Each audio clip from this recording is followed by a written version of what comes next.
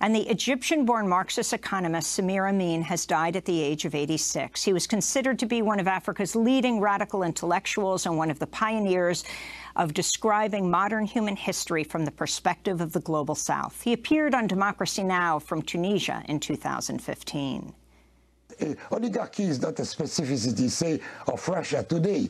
You have an oligarchy running uh, the United States, running uh, uh, uh the European Union and the countries of the European Union. You have oligarchies also running the dependent countries of uh, Latin America, Africa, Asia, everywhere, oligarchy. To see the interview in its entirety, you can go to democracynow.org.